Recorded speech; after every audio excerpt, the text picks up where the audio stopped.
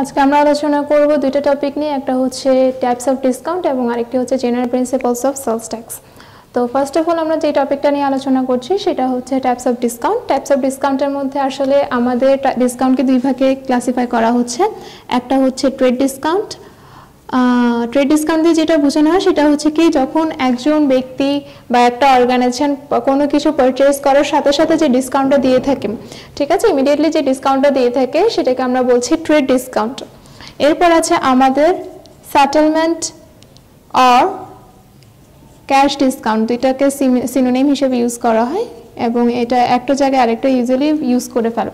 তো সেটেলমেন্ট বা cash discount যেটা আছে, সেটা শুধুমাত্র যেখানে ক্রেডিট সেলস হবে, সেই ক্ষেত্রেই দেওয়া হয়। ক্রেডিট সেলস ছাড়া ক্রেডিট সেলস আর পারচেজ এই ক্রেডিট সেলস ছাড়া কখনোই সেটেলমেন্ট বা ক্যাশ ডিসকাউন্টটা আসবে না।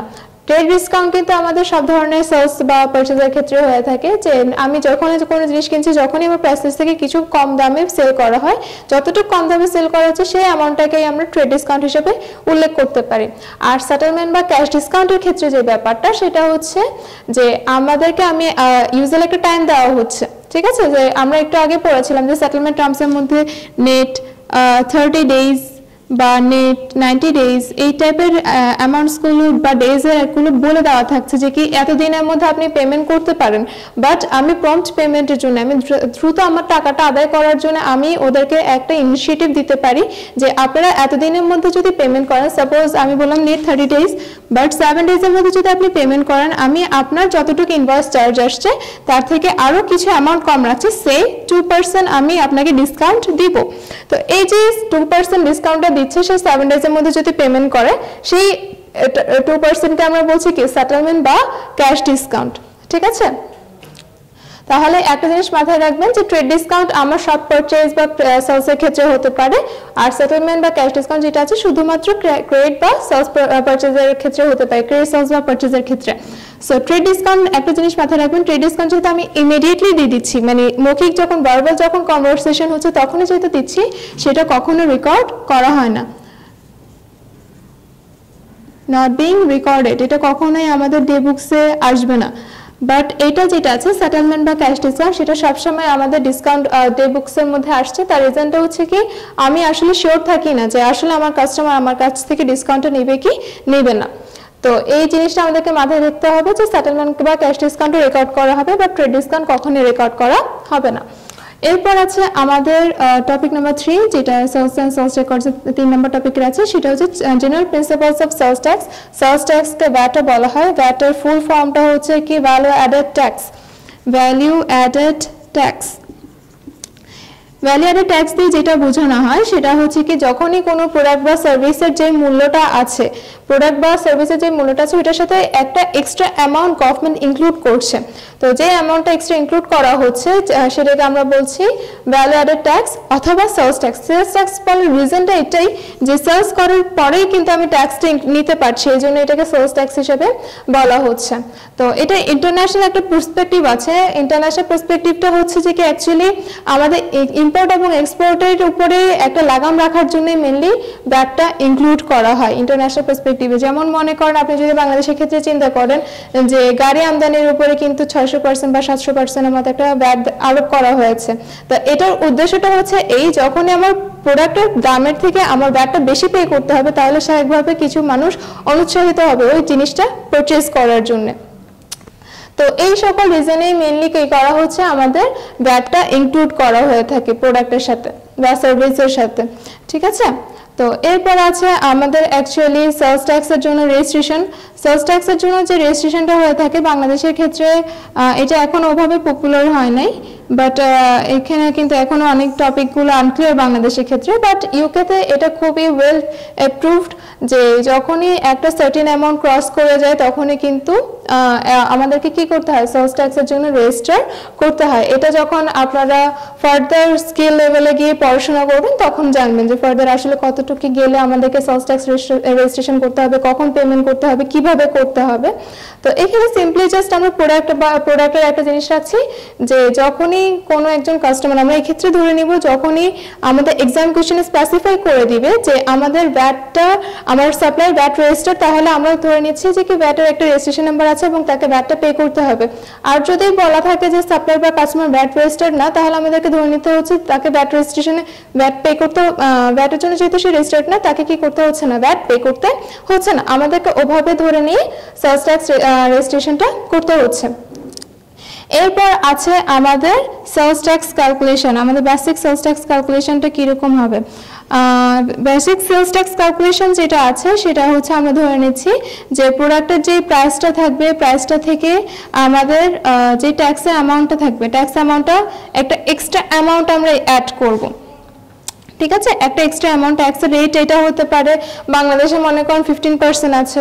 তো ট্যাক্স ফিফটিন পার্সেন্ট হতে পারে অথবা ইউকের ক্ষেত্রে এখন হচ্ছে টোয়েন্টি পার্সেন্ট করে। ট্যাক্স হচ্ছে tax rate at ten twenty percent তো সাপোজ মনে করেন একটা প্রোডাক্টের দাম যদি এক হাজার টাকা হয়, তাহলে এটার উপর তাকে টু হান্ড্রেড টাকা ব্যাট ট্যাক্স পে করতে হচ্ছে সেলস ট্যাক্স পে করতে হচ্ছে। তো তার টোটাল প্রোডাক্টের পারচেস প্রাইস হবে টুয়েলভ হান্ড্রেড টাকা। ঠিক আছে?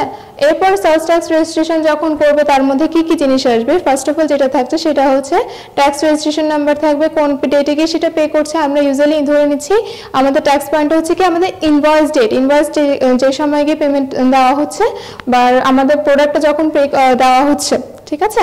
আমাদের প্রোডাক্টটা যখন ডেলিভার করা হচ্ছে, ওই টাইমটাকে আমরা ধরে নিচ্ছি ট্যাক্স পয়েন্ট হিসেবে। তো এই জিনিসগুলো মেনলি আমাদের জেনারেল প্রিন্সিপালস অফ সেলস ট্যাক্সের মধ্যে থাকবে। আর এখানের মধ্যে আমি আপনাদেরকে আজকে একটা ফর্মুলা দিব, যেটা কি নিউজেন আমরা বইয়ে পাচ্ছি না। এই ফর্মুলাটা আমি এখানে এখন আপনাদেরকে বোর্ডে লিখাবো। যে জিনিসটা থাকছে ট্যাক্সের জন্য সেটা হচ্ছে যে আমাদের প্রাইস লিস্টে যে প্রোডাক্টে প্রোডাক্টের দামে প্রাইস লিস্টে যেটা দেওয়া থাকবে, সেই অ্যামাউন্টটা আমাদেরকে লিখতে হবে। সেখান থেকে আমাদের যে ট্রেড ডিসকাউন্ট থাকবে, ঠিক আছে? ট্রেড ডিসকাউন্টটা আমরা লেস করে দিব। ট্রেড ডিসকাউন্ট একটা পার্সেন্টেজে দেওয়া থাকতে পারে। যদি পার্সেন্টেজে দেওয়া থাকে, তাহলে এটা পার্সেন্টেজ হিসাব করে বের করবেন। আর যদি আপনাকে প্রাইস দেওয়া থাকবে যে কতটুকু ডিসকাউন্ট দিচ্ছে, সেটা যদি স্পেসিফিক্যালি বলা থাকে, তাহলে সেটাই আপনারা মাইনাস করবেন।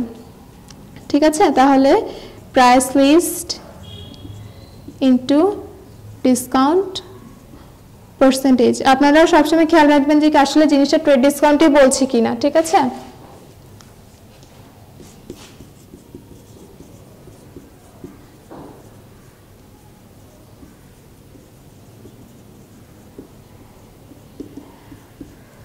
আমাদের এইটা ডিডাক্ট করার পর যে অ্যামাউন্টটুকু আসছে, সেটাকে আমরা বলছি প্রাইস আফটার ট্রেড ডিসকাউন্ট এরপরে আমরা যে কাজটা করছি, সেটা হচ্ছে, এটা হচ্ছে কি স্পেসিফিক্যালি শুধুমাত্র ট্যাক্স ক্যালকুলেশনের জন্য less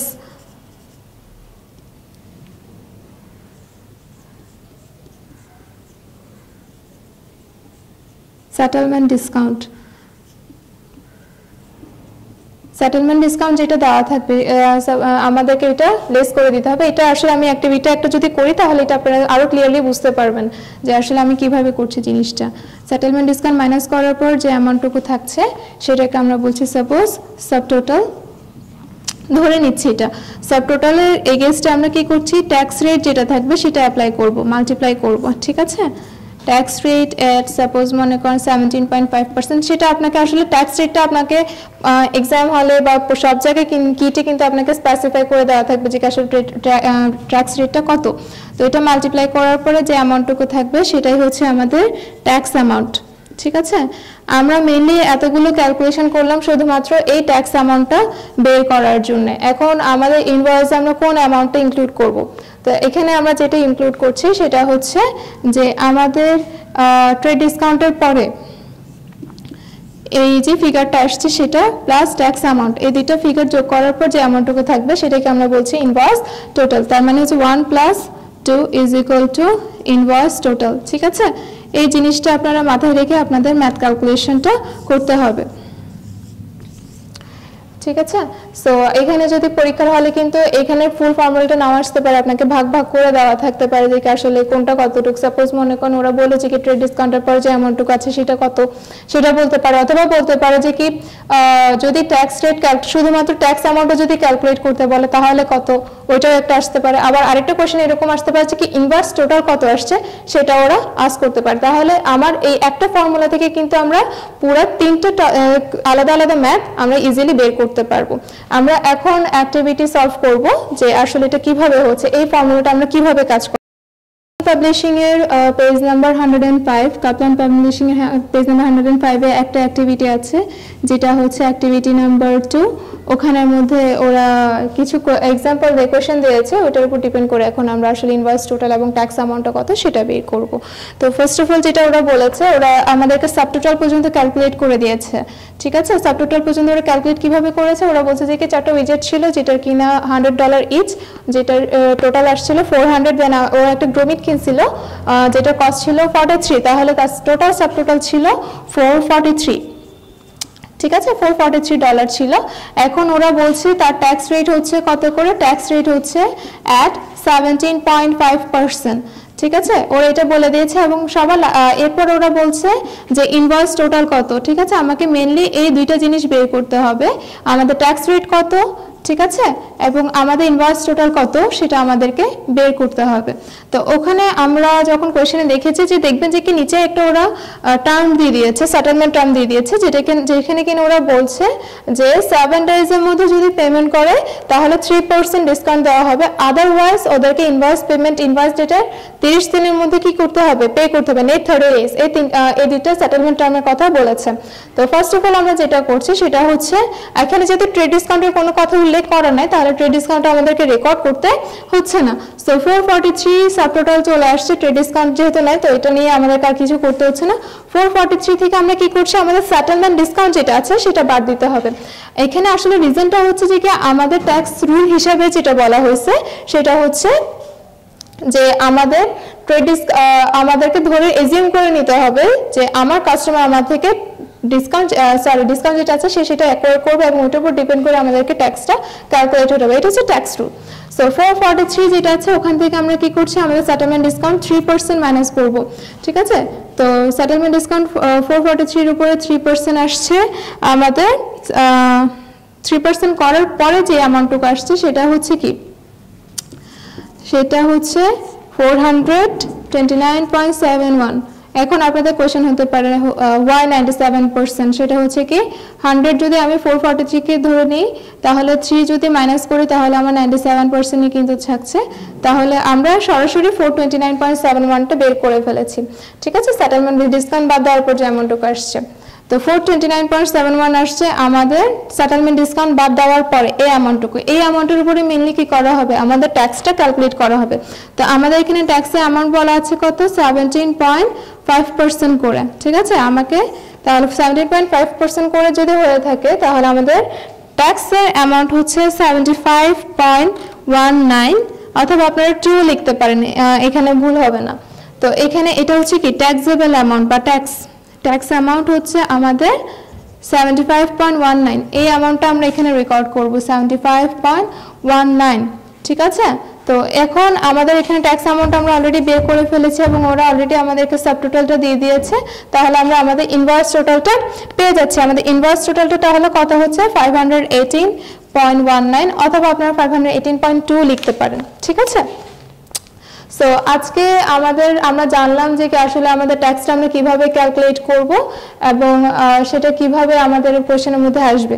সো আশা করি আপনারা এই টপিকটা নিয়ে আরও একটু বেশি পড়াশোনা করবেন, আপনারা কাপ্তান পাবলিশিংয়ের বুকটা ফলো করবেন এবং পাশাপাশি কিটটাও সলভ করার চেষ্টা করবেন। কারণ আপনারা যত বেশি প্র্যাকটিস করবেন, আপনাদের কোয়েশ্চেন করার ওয়েটা আর আরও বেশি ইজি হবে। আপনারা অনেক দ্রুতই আনসার করতে পারবেন। ঠিক আছে? থ্যাংক ইউ আজকে ক্লাসের জন্য। পরবর্তী ক্লাসে চ্যাপ্টার ফাইভে যে টপিক আর বাকি যে টপিকসগুলো আছে, সেগুলো নিয়ে আমরা আলোচনা করব।